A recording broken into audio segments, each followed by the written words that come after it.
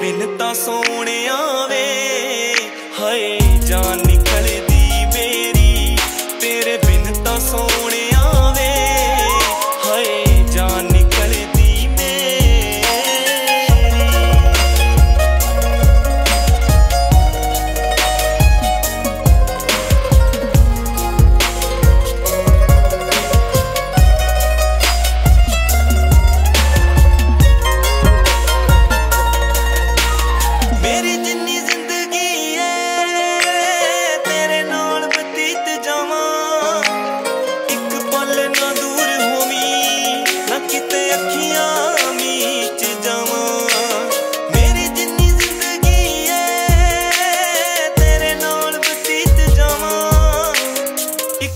ਨਾ ਦੂਰ ਹੋਵੀ ਨਾ ਕਿਤੇ ਅੱਖੀਆਂ ਮੀ।